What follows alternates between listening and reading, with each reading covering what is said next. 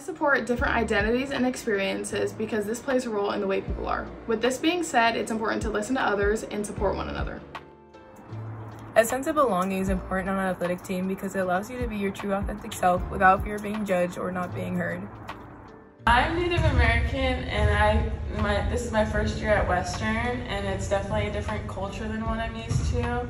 And I think it's important that we support other people who have different identities and make them feel more welcome at home and more safe in like a safe space. My name is Caroline Hanson. I play volleyball here at Western Washington and I just truly believe that a successful program, team, workforce, school, um, overall community is stemmed from diversity.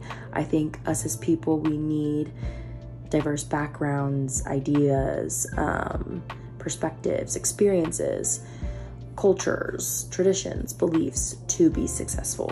Um, I think diversity is what creates creativity, and that is how we have innovative insight and how we are able to conquer our challenges.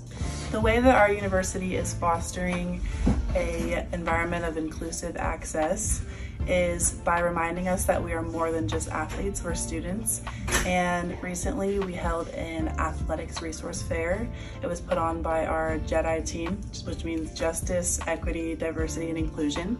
And we just had like a, a table session of all of our resources here on campus and athletes got to walk through and just take a look and talk to people from um, yeah, our resources on campus. So I think it was really helpful and just was a good reminder of our student side of student athletes and the resources that we have.